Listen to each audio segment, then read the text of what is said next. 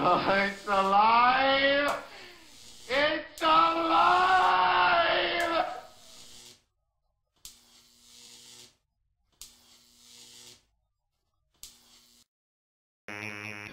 Well, I want to face Mars, and you're not going to believe this one. They're talking about building, can you believe this, igloos on Mars.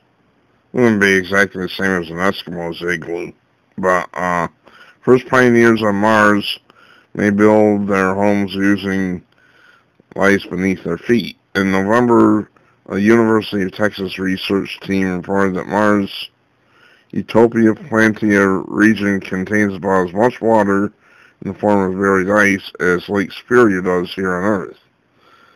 This ice layer, which spans a greater area than the state of New Mexico, lies in Mars' mid-northern latitudes and is covered by just 3 feet to 33 feet of soil, scientists determined. The presence of accessible ice on the red planet means harder collaborative group of NASA Langley Engineering Design Studio in Hampton, Virginia. An expert team that is chipping away at designing Mars Ice Home. says it warms their heart, not means. Sorry. Uh, that ice home is just is more than just a habitat, since what we really need is a new home on Mars, said Ice Home Principal Investigator Kevin Kempton of NASA's Langley Research Center. Our team is confident Ice Home is currently the best solution outlet for an entire, for an early Mars outpost. Uh, there something you people aren't telling us? I mean, we're told there's no air pressure there, very little air pressure, and then you're saying that they can live in igloos? That's what it's called. It's called an igloo. Ice Home is a deploy deployable Mars habitat concept based on inflatable structures that makes use of the water ice on Red Planet.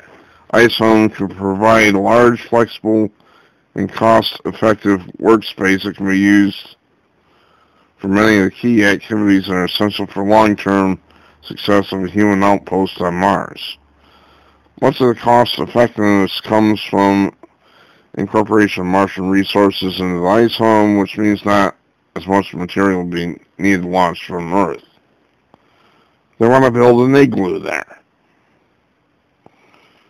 As an added biological bonus, according ice home advocates, is that water serves, water ice serves as a shielding from galactic cosmic rays, which have been flagged as potentially dangerous to human health on long-duration Mars surface missions. An ice home could significantly reduce astronauts' GCR doses uh, compared with what habitats based on aluminum structures Kempton said. Well, yeah, uh, water, I, water is a good moderator. That much is true. Current habitats concepts do not address the GCR issue, or they require burial beneath several meters of Martian soil, known as regolith, added Kempton, leads a design group that consists of clouds architecture, office. Alright, that's a bunch of bullshit. I'm not going to read it.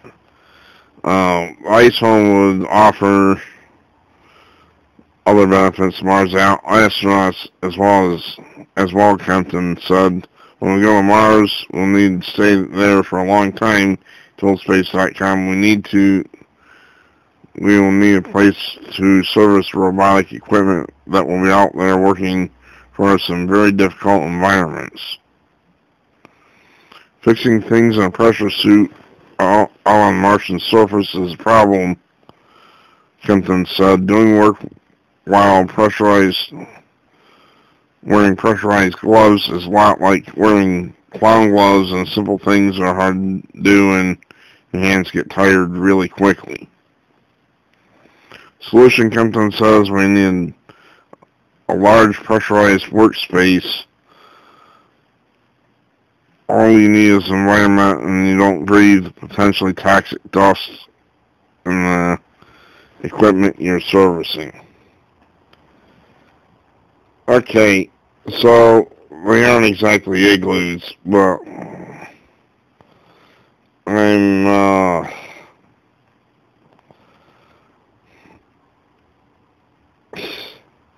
I'm wondering if these people have gone over the edge. I mean, you gotta provide for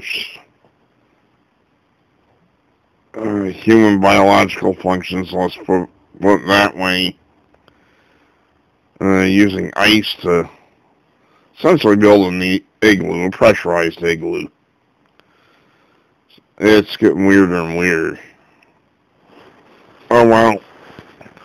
That's Mad Science Update for number one for today. Uh,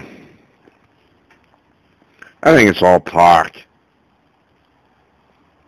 They know that there's somebody there who